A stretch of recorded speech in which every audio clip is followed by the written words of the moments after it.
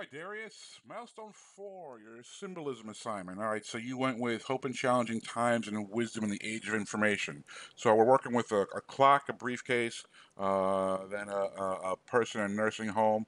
So uh, this kind of, this for me, especially the, the nursing home part, uh, really touches home.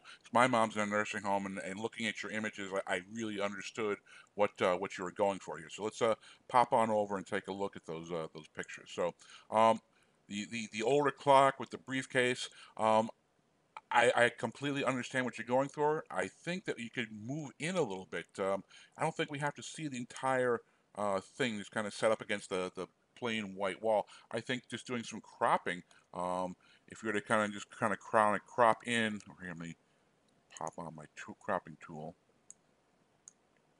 and kind of show you, uh, let's try, for example, this one. So, you know, maybe, maybe it's something like,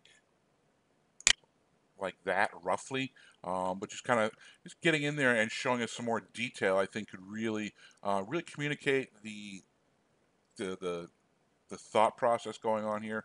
Um, and then make the, the viewer have to think about it for just a little bit because I think it's uh, you know having in the entire thing. I'm gonna close this window out. Uh, having the entire thing here, um, it's like okay, it's a, it's a clock, it's a briefcase, but I think having just part of it would then encourage the, the, the viewer to really kind of come in and say, what's going on here? What is that? And then really start the thought process even more. So there's that one. Um, the the nursing home photos are, are, really like. I think just the one big thing to be working with is a little bit on the lighting. Um, it's kind of go down to your your critique image. So so there is that one. Like I said, I think going in and uh, just getting a little bit tighter crop. And on this one, so I think it's because of the, the leather chair and the, the hoodie.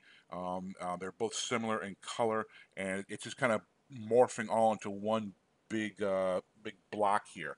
I think just adding a little bit. I don't know if there's a window over here that you can get some more light in here, um, or even use a, uh, a reflector, um, something to just bounce some light into here, so we can kind of see the the uh, differentiate between where the uh, chair stops and the uh, the, the gentleman's clothing begins. But you know, all in all, I, I definitely think it works. Like I said, for me, I, I, get this completely every time I visit my mom's nursing home.